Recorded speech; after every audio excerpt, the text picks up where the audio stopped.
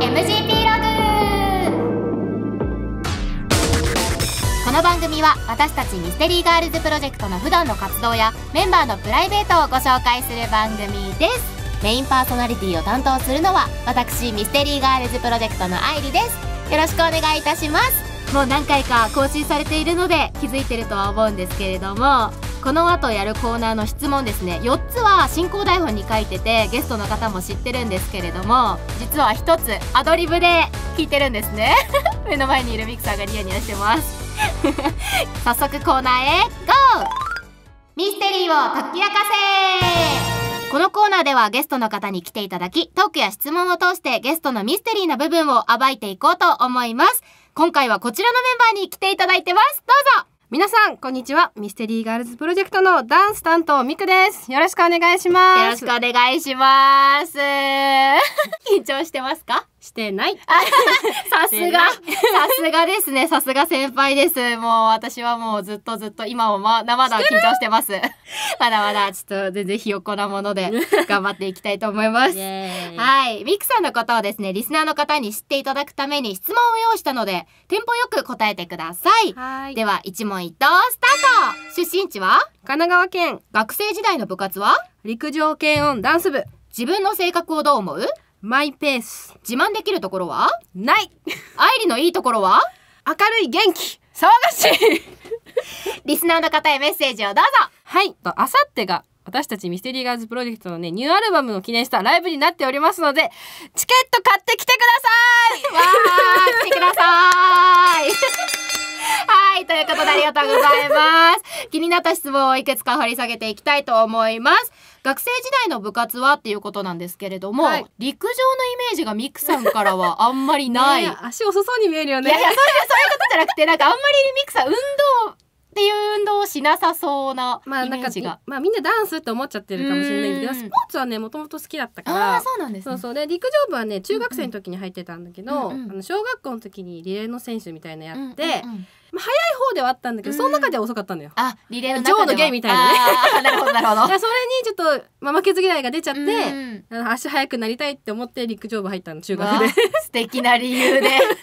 それだけのために入った。実際足は速くなりました？あでもねやっぱ体力もついたし筋肉もついたからちょっとは速くなってる。あいいですね。と思う 自慢できるところはっていうことなんですけど なくないでしょう。ありますよ。ダンスできるし。いやなんかほら中途半端なの全部別に。まあでもいろんなことほらあの中学高校部活でやってらっしゃったから いいろろんなことできるそう器用ってことじゃないですか。ちょっと器用。ちょっと。あ謙虚だな。謙虚だ。謙虚なところ？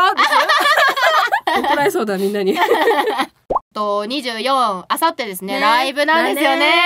どう？緊張して緊張しますよ。初めての。もんねはい。やる覚える量も半端ないでしょ、盛りだくさんですね。やばいですね。歌ダンスだけじゃないからね、うん。いろいろあるから、うん。構成も考えたら、MC も途中あったりとかね。いやもうそうですよ。本当に。私と母さんは多分まあでも久しぶりだからちょっとは緊張してるけど、うんうん4人がどうなんだろうなみたいな方も多分ちょっとある。そうですよね気持ちが。うん。あの楽しんで頑張りたいと思いますので、ねよろしくお願いします。はい。みんな来てください。お客さんがいてこそ楽しいライブになると思うのでぜひぜひチケットをねご購入いただいて遊びに来てください、はい。ということでですね一曲お聴きいただきたいと思うんですけれどもミクさんが作詞された曲ですね。はい。曲振りお願いします。はい。じゃあニューアルバム「ネメシス有欲の女神」から私が作詞させていただきました「アンノーン」どうぞ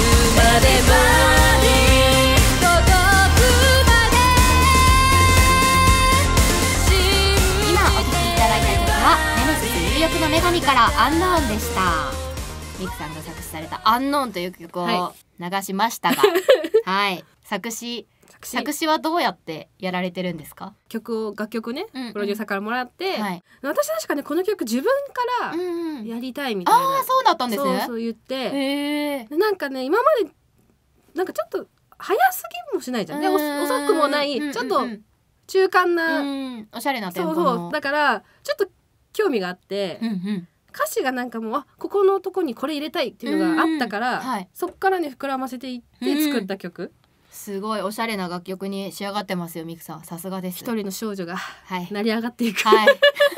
はい。曲になっておりますのではね。い、うんうん。愛理が歌ってるところが私は好きかな。頑張って歌わせていただきます。ね。そこ、ぜひぜひ、はい、聞いてください。いや、作詞難しいです。ね難しいよ。ね、うん。もう語彙力がないのがね。本当悔やまれます。私箱何？箱じゃねえ。収納？なんかさ引き出し？って何？箱。引き出しがさうんうん。うん少ないとさ痛感したよね。いや、そうですよね。なんか普段こう生きてる面では困らないけど、作詞するってなるとやっぱり伝えたいこととかがなかなかね。ね言葉を知ってる方がね、うん。いろんな伝え方できるからそうですよね。勉に強にもなるしちょっとうん。頭良くなった気がするもん。作詞し終わった後あとは。あいろいろ調べたりもしますしね。はい、今日はミクさんの魅力とアルバムのあのアンノーンの作詞のお話たくさんいいことを聞かせていただいたかなって思います。な大丈夫？伝わった伝わりました。私には伝わりました。はい、皆さんにも伝わってると思います。そしたらあさって待ってるわはい、そうですね。そうですね。来てもらって。いや来てもらってうん楽しんでいただけたらと思います。ということで今日はミステリーガールズプロジェクトのメンバーミクさんに来ていただきました。ありがとうございました。ありがとうございますそろそろエンディングのお時間です。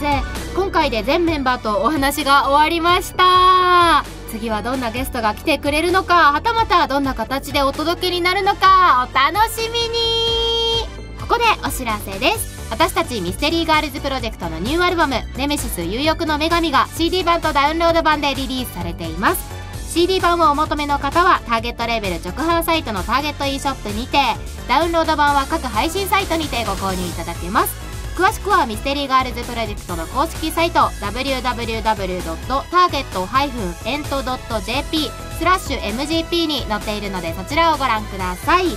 そしてなんと9月24日土曜日あさってですね。ついに高円寺杯にてアルバムリリース記念ライブを行います。イエーイ。17時会場の18時開演です。